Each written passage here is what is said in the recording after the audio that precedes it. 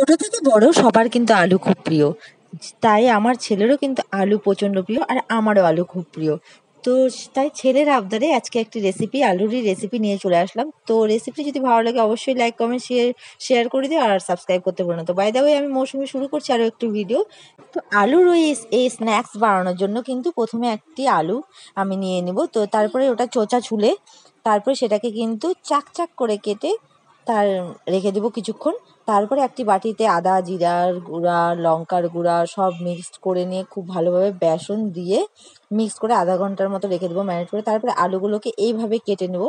কেটে নিয়ে কিন্তু কড়াইয়ে তেল গরম করে নিয়ে তারপরে কিন্তু ওই ম্যারিনেট করা বেসনের গোলা দিয়ে আলুটাকে চুবিয়ে কিন্তু তেলের মধ্যে এইভাবে ভাজতে হবে। আর দেখো, ভাজাগুলো কিন্তু খুব সুন্দর হয়েছে। ওর মধ্যে কিন্তু চালের গুঁড়াও দিয়েছি আমি। তো তারপরে দেখো ভাজাগুলো এক এক করে হয়ে গেল। আর আমার ছেলেরও কিন্তু খুব পছন্দের একটি খাবার। তো এই যে দেখো, এইভাবে কিন্তু তৈরি। আলুর স্ন্যাক্স এটি সকালের খাবার, ভাতের গরম গরম ভাতে আর বিকালের জলখাবারের সাথে কিন্তু খুব ভালো লাগবে। তো এই যে দেখো, ছেলেও কিন্তু আয়েস করে খাচ্ছে, স্কুল যাবে, তাই ওকে কিন্তু সকালবেলায় দিয়ে দিয়েছিলাম। ও বলছিল যে, মা, আমাকে এটা বানিয়ে দাও বানিয়ে দাও। তো বানিয়ে দিয়েছিলাম। তো আজকের মতো টাটা। যদি ভালো লাগে অবশ্যই লাইক কমেন্ট শেয়ার করে দিও।